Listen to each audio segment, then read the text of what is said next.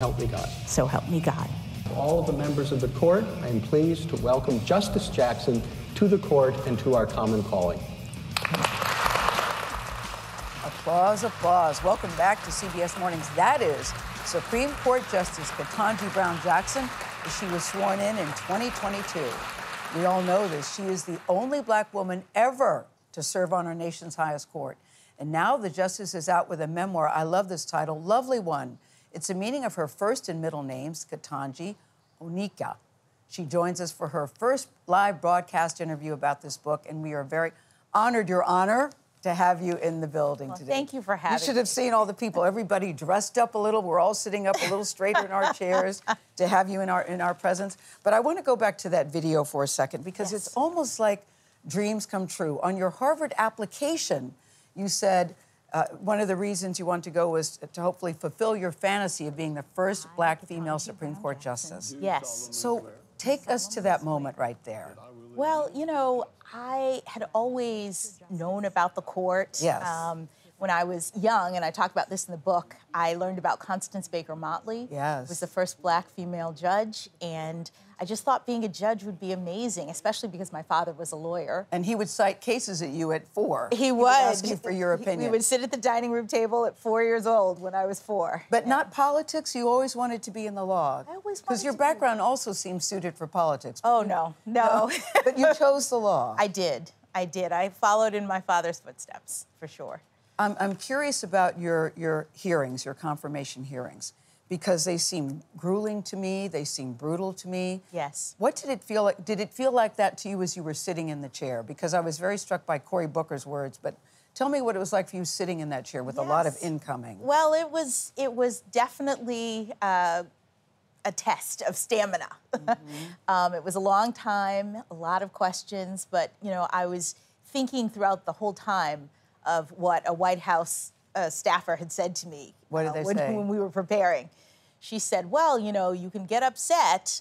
Or you can be a Supreme Court justice. Ah. And so I thought, oh, okay, this means I really have to keep my composure. And you did, I- and you did that. And I did.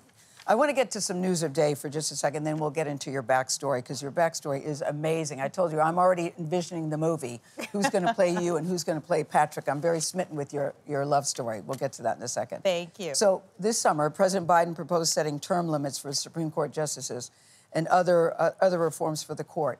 When you heard that, is it something that you're on board with? You like the idea of that? Well, you know, what I think about when I think about proposals like that is Yeah. the fact that we live in a democracy and that people are engaged and they're thinking about the court, what the form and structure and uh, uh, role of the court is, and that's part of our democratic process. And, you know, term limits have been debated for the longest time. In the book, I talk about Alexander Hamilton and thinking about how long Supreme Court justices should serve. So Where do you is a stand on it on term limits? well, you know, I am. so you're uh, a young woman. I, I am a young woman. Yes. Um, you know, I, I'm not participating in the actual political debate. This Mm-hmm. is going through the process now, but I'm very interested in the fact that people are really engaged in the democratic process and thinking about the court. You don't have an opinion one way or the other, Justice Jackson? No, I am Okay. interested in what people are right. saying about it. I, I hear you. Here at CBS, we, we recently aired an interview with your colleague, that would be Justice Neil Gorsuch. And he said in his book, he warns about the overreach of federal law and the overcomplication of our legal system. Do you think he has a point? Well, um, I have not had the pleasure yet of reading his book. I know he has a book out about this issue. Um, I think these are issues that are being debated. Um, whether or not there are too many laws or too few laws is also a part of the democratic process. Um, I guess my big uh, concern, if you want to talk about what the justices are thinking about, is a concern about uh, the role of the court and uh, staying in my lane as a justice and making sure that all of the branches of government are uh, observing their own respective roles. You, you had what some would call a drop the microphone moment, if you will. What you wrote, and it's been described as fiery and searing, two very strong words, the dissent in the Idaho versus abortion case. And I want to get this, read this verbatim. While this court dawdles and the country waits, precarious Well, let me start over. While this court dawdles and the country waits, pregnant people experiencing emergency medical conditions remain in a precarious position as their doctors are kept in the dark about what the law requires. The court had a chance to bring clarity and certainty to this tragic situation, and you said we have squandered it. You certainly didn't mince words there. Why did you want to make that point so strongly?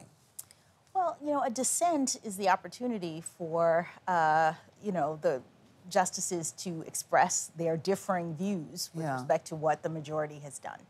And I uh, had a different sub opinion, and I wanted to make clear why I thought what I did in that situation.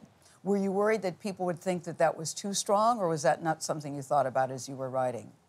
Because people were calling it a masterful opinion. Oh, well, I'll let other people comment as to what they think of it. I mean, I, I wanted to express as clearly as possible my views on this issue, and the court has a tradition of that, that lots of justices uh, use terms and phrases that they want to use in order to make a significant point.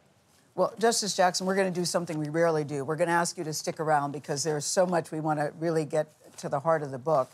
And I have a, I have a picture that is very searing for me in a positive way. I wonder if you and I feel the same about this. I want to talk about that picture in particular. And I want to find out what it takes to prepare. You said 19 hours to prepare for your confirmation hearings. What exactly did you do, and how did you do that? Well, Hold that um, thought. Oh, It starts with well. Stay with us. You're watching CBS Mornings. Justice Jackson is sticking around. We'll be right back. Starting with well.